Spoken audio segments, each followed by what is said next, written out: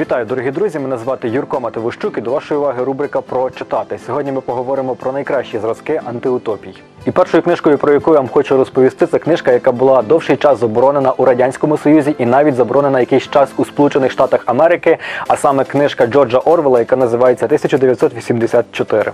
Головний меседж цієї книжки він полягає в тому, що в ній розповідається про антиутопічне тоталітарне суспільство майбутнього, яке твори- творилося впродовж ХХ століття в багатьох країнах, і власне тому ця книжка була заборонена в багатьох країнах і не дозволена була до читання.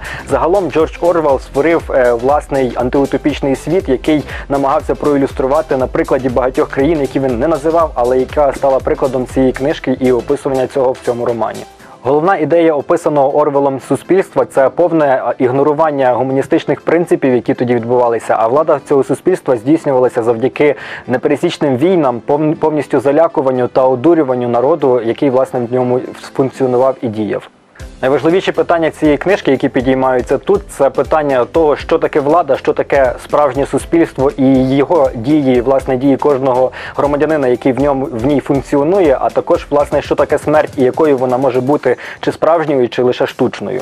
Але безумовно ця би антиутопія не була тою антиутопією, якби не головні герої цієї книжки, які постають проти цього режиму, які намагаються його подолати і поламати, і розібратися в тому, в якому вони суспільстві е, функціонують. Зокрема, і головний герой цієї книжки, власне, Вінстон Вінстон Сміт, е, власне, е, вболіває за те, аби поламати цю, цю систему і зробити її якнайкраще, аби гуманістичні принципи людства були відтворені якнайкраще.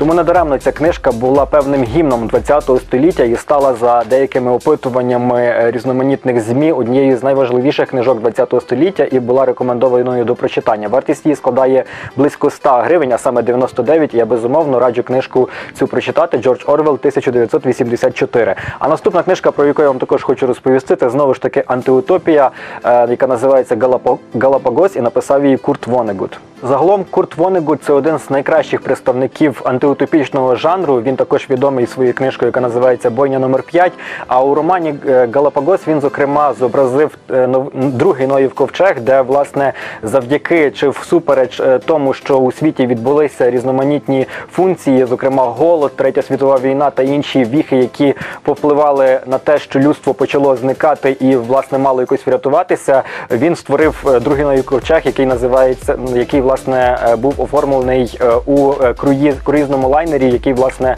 і функціонував в цій книжці. У романі поєднуються три часові лінії, зокрема причини цих подій, які сталися, їхній розвиток і наслідок. Але Курт Вонегут не був би Куртом Вонегутом, якби він не описав це в досить іро- іронічному і навіть гумористичному стилі, де поєднав в одній книжці також розвиток старого заповіту, ла- латиноамериканського серіалу та іншого коміксу. І зрозуміло, це все вилилося в різноманітну мозаїку, якою став цей роман, який називається Галапагос.